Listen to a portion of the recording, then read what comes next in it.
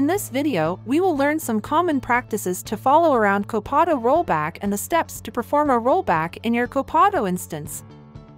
Most enterprises have a rollback strategy in place, just so that if anything goes wrong in production, they can revert the changes. However, these rollback strategies are often untested, which results in downtime and data loss. With the Copado rollback feature, you can quickly compare and select only those changes you want to roll back, which saves you time and final hour slip-ups. Let's begin with some useful practices for performing a Copado rollback. These will help you get the most out of your rollback process and avoid any potential issues. Enable rollback for business-critical environments.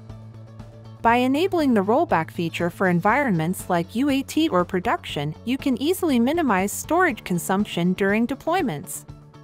Keep deleting your rollback backup files from time to time. Rollbacks can consume a significant amount of storage depending on the number and size of the deployments in the pipeline. Therefore, it is important to execute cleaning scripts that can delete your rollback backup files from your org. Decide when to roll back and when to not. When you roll back metadata components, it could have an impact on the associated data records as well.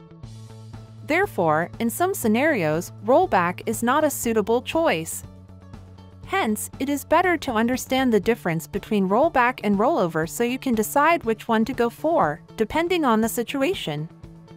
Enable the rollback before the deployment date make sure you enable the rollback feature in the destination environment before the date of the deployment you're trying to roll back, so that the necessary files are available to execute a rollback for this deployment. Compare your metadata changes before the rollback. Before you perform the rollback, make sure you compare the changes to understand how they will impact your deployment. Now you know about the Copado rollback best practices, let's see how to perform rollback in Copado. As you can see, we have promoted three user stories to the UAT environment. Now let's imagine that during UAT testing, you discovered that account sales object has some issues in terms of the latest data retrieving and needs to be tested again. And now you need to roll this field back. To do so, let's click Rollback button.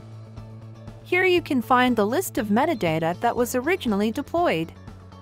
Now from here, you can select the metadata that we want to roll back. Before you do that, let's compare the metadata. As you notice, the source bucket is empty because the system will create a new field during the rollback. On the other hand, you can see that the account sales object lives in the target environment UAT as this was promoted to UAT. Now go back and click Confirm Metadata. Here you can also define the test level for your deployment. For now, we will leave it as is and click Start Deployment.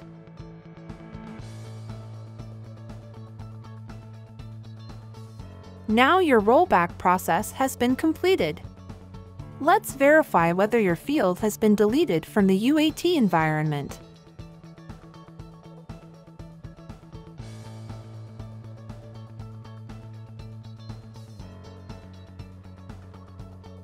As you can see, the account sales object has been deleted from the UAT environment.